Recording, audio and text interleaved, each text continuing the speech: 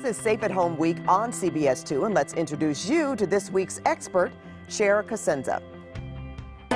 She's a model, an actress, a private eye. Cher Cosenza is your modern day Jill of all trades.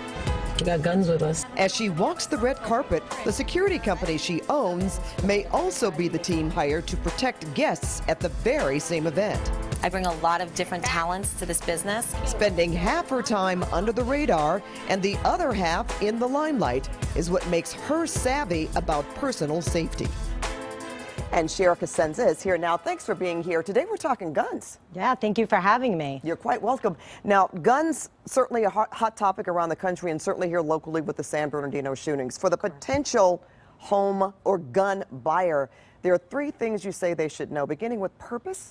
Right, there has to be a purpose for every firearm, and I have to stress this at the beginning, it's not for everyone. You need to know that you could actually use this firearm and not just have it. You have to be trained on it, that's first and foremost. But then, when you get into purpose, there's three different ways that I like to break it down. You could either have home defense, you could have self-defense, or you could have range. So there's different guns for different things that you want to do. Okay, and you want to be comfortable. You have Comfort. to be comfortable with it. It's like wearing a pair of shoes. If you buy them and you're not comfortable with them, you're just not going to use them. So for comfort on guns, what you need to do is go to a licensed gun dealer. You need to put the gun in your hand. You have to hold that gun. Everybody's different. Man, woman, our hands, the weight of the guns are different. The okay. sights on the guns are different. So you really need to get comfortable with this before you make your purchase. Now, before we, we go into that, we could talk about preferences by showing some pictures of uh, some of the guns that you were talking about. Absolutely. We have revolvers and semi-automatics. If we can mm -hmm. get mm-hmm. that graphic up.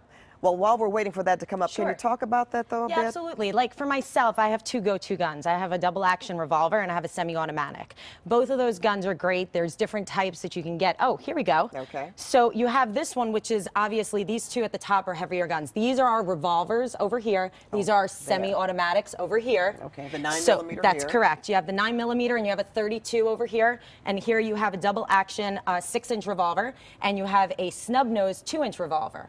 The idea is, is that for the bigger ones, you're going to actually have less recoil, and those will be great for home protection and for range shooting. For the smaller ones, you probably will use those more for self-defense, and those would be great if you can get a concealed weapon permit, and then you could use those to carry with okay, you. Okay, so a, a petite woman, for example, shouldn't be afraid of buying a larger gun. Absolutely not. In okay. fact, I always recommend to people that they might want to start with the bigger ones. It's not about that. It's about comfort, and you could actually get a better feel for your gun and learn how to shoot it better if you're using something larger. The smaller ones are not really ideal for learning how to shoot and getting comfortable. Okay, and I guess you can go to a range and get that first, right? We always stress right. learning how to shoot.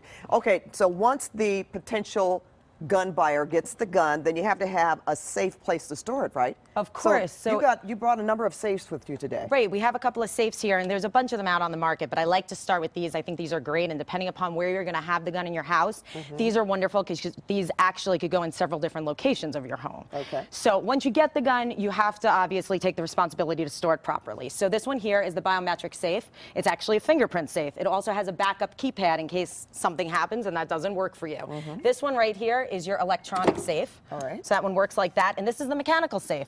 This is the one where you have to turn the knob. That's correct. You okay. turn the knob. And actually, in each of these safes, specifically this one, I happen to like because you can bolt it down to the ground or you can bolt it into a corner of a wall, into a closet, somewhere. So okay. that this way you really could keep it out of hands of people. Well, great. Now, we want to give thanks to the folks at Dean Safe for bringing these safes for us to look at today. And Cher, you're going to be with us all week. Tomorrow, we're going to talk about home security systems alarms. Correct. Alarms, cameras, and those cameras come in all sizes, so you never know who's watching you. All right. Well, we'll delve into that tomorrow. Great. Thanks, Cher. Thanks. Paul, back to you.